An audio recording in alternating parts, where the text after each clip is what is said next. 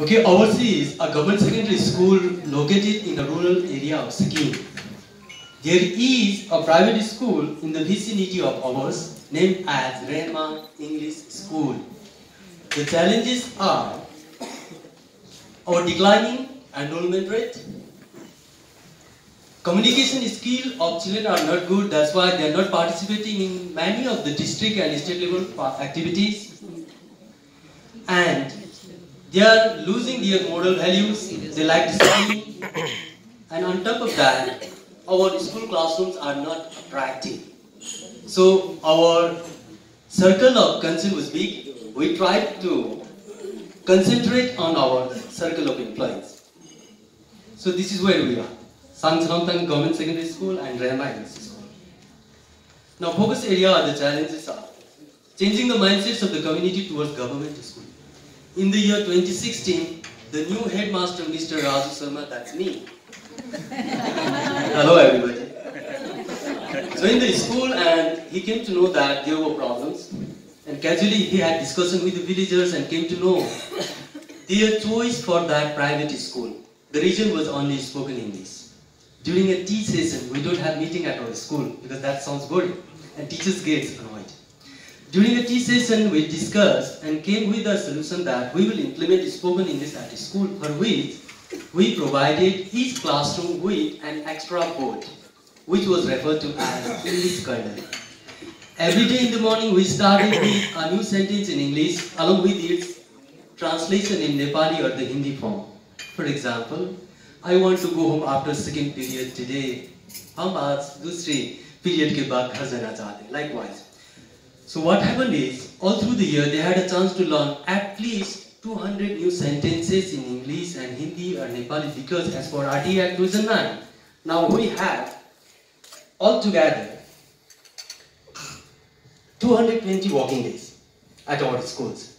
So that was quite an opportunity for us to let them learn English at their own pace. And the result is, the news spread and the following year, the Panchayat member of our village, Normaya Darnal, took out three of our grandchildren from a private school and enrolled them to ours. These days, headmaster need not write sentences on the board. Senior students, they have taken charge of the junior classes and the teachers, especially English teachers, they have taken charge of the senior classes. So these are the English learners. Now next case is inculcating moral values in the children. It's been a problem everywhere. During a tea session, we decided, as weekend homework, we asked children to spend a lot of time with their parents and the grandparents and listen to their stories with moral. And in the weekdays, we encourage them to share their stories in the evening assembly. And the best story with good moral is appreciated by the headmaster and the students are graded for that beautifully because that's a weekend homework.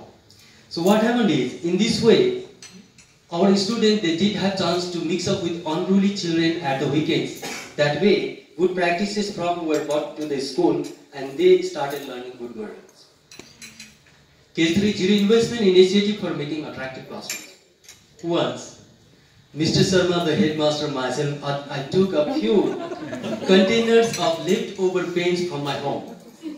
And during my free period, I started painting a room which was meant for our kindergartens. After a few days, other teachers also joined in the form of manual labor or leftover paints from their home. So ultimately, we were ready with an attractive classroom for the kindergartens, and the idea clicked to almost all the class teachers who started requesting to other subject teachers and students also for the leftover paints or some manual labor.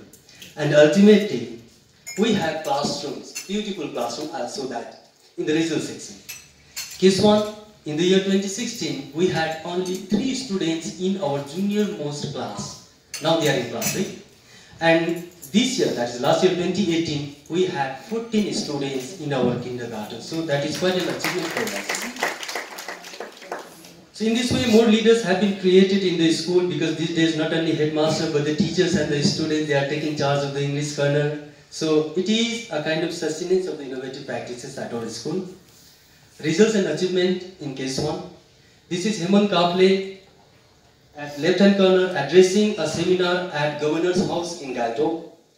Next is Hemant Kaple participating in English elocution. There is a video which, if the time permits, I'll show to you. It's not a big deal, but it, this is just a sharing in English, but for the parents who were present on 15 August 2018, they were all tears when they saw their children sharing their views in English. It was an achievement for us then. Down here there is a figure of a student leader maintaining in this corner and at right hand side there are 6-7 students who left private schools and joined ours.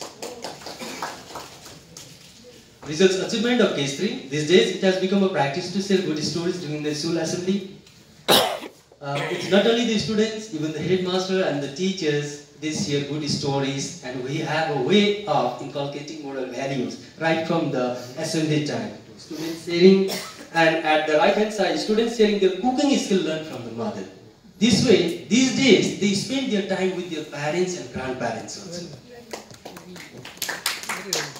Future challenges, there are many. Finding and keeping committed staff members, that's a challenge for us at rural areas because all the time teachers are busy trying for the transfers. In this, I think an amicable transfer policy can do, that is the policy matter, okay? And traditional teaching learning process, let's do away with that. Absenteeism, it's a problem with the students and the teachers. The students, they have an array of excuses to stay back at home. And teachers, they have to attend social functions, they have social obligations all the time. Now, what we have just started is certain initiatives in the form of Most Regular Student Award and Super Mom Award to the mother of that student who is most regular at school. That is what we did last year. Before last year, Most Regular Teacher Award for Mrs. Sobna Yonjan for the year 2017. How do I see myself as a leader today? Today I am a leader as well as a follower, without any ego. Most of the time there are instances, I know a lot about many of the things. For example, I've done senior diploma in Indian classical music from Prayag University. I know a lot in music. But I just follow along my teacher called Srijana Sunar because I have to build rapport with my team. So that is what I have learned. I can be a leader and I can be a follower as the situation asks for. A last line. Be a, be a leader, not a boss, because it is easy to be a boss and say do it. But it's challenging but more fulfilling to be a leader and say let's do it. Thank you. Have a wonderful day.